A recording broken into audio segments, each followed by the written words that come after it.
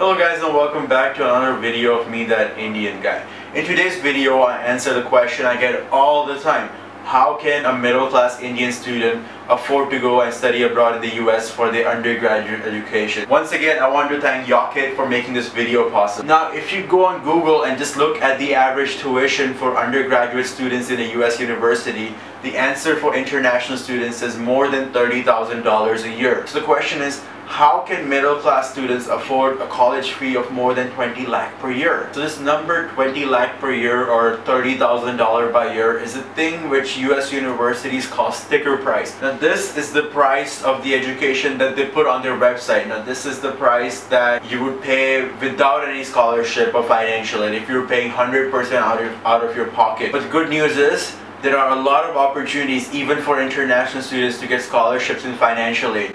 So hardly anyone ever ends up paying the sticker price. Your cost of education in the US is not 20 lakhs per year. If you choose the right university, it's going to be much less than that. So let's talk a little bit more about how is that even possible. So the first thing I want to make clear before I get into the how is that a lot of this is not going to be possible at some of the very famous colleges like NYU and UCLA. Now you may be a perfect fit for NYU when it comes to the location and courses. It's just the fact that NYU does not offer any scholarship and NYU actually costs even more. It costs almost 40, 50 lakhs per year to attend. I just think there are so many more other options available in the US universities that may not be as prestigious as NYU. They're offering scholarships to international students. And believe it or not, nobody except your relatives in India actually cares about the ranking and the prestige of your university. Let it sink in for a moment. The thing I just said right now is something that carries on a lot of people's heart because they care about what is my uncle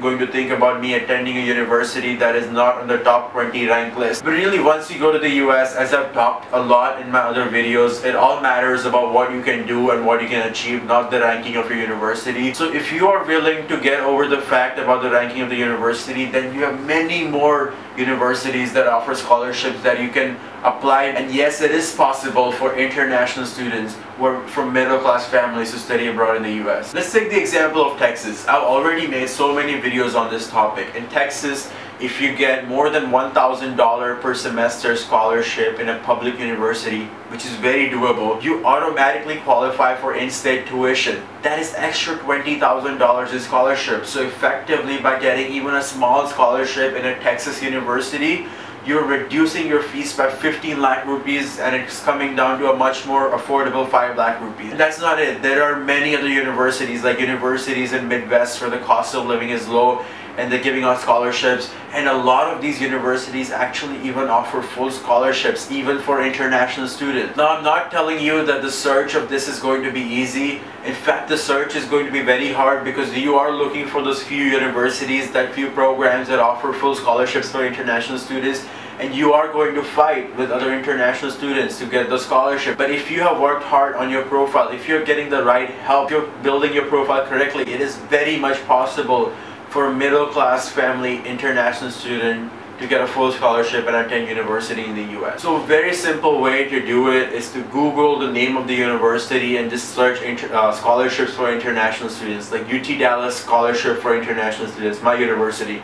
And you would find out that UT Dallas offers a lot of partial scholarships for international students like the one I have which pays 85% of my tuition. Not just that in the Midwest, one of my favorite universities, Ohio State University, which actually is a very prestigious university also offers scholarship for international students. In fact, they even mention the average SAT scores in the profiles that they look for students who they offer the uh, scholarship to. So all this information is available on the internet. You just need to take a little bit of effort and do some research. So in my previous videos, I've already mentioned the numerous benefits of doing your undergrad in the US. Believe in yourself, you too can study abroad in the US. It is very much possible as long as you have the right resources. Alright guys, so right now I want to take a minute and thank our today's video sponsors Yocket.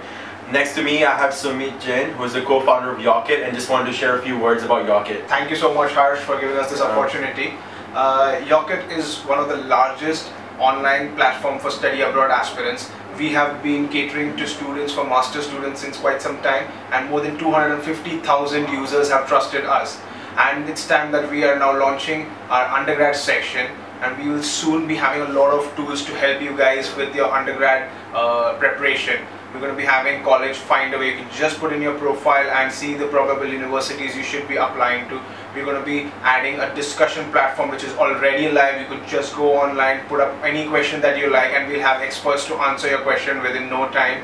We're going to be having very regular webinars with some of the great university reps and to get you an insight into how your application is actually assessed and what you should be looking at. We also have uh, loan providers, lenders to help you with your financial needs during your during your uh, undergrad process. So guys, please watch out Yocket. Anything, any suggestion, you can always let us know. Thank you so much, yeah. Thank you so much, Sumit. And once again, guys, all the information will be available in the description of the video. So here we are, guys, at the end of this video. Thank you so much for watching this video. If you guys enjoyed this video, please give this video a thumbs up and share it with all your friends who are facing the same dilemma that, hey, I'm a middle class family student. How do I study abroad in the US? Share this video with them so that they also know the right information and they know it's possible. So guys, once again, thank you so much for watching this video. I will see you in the next one.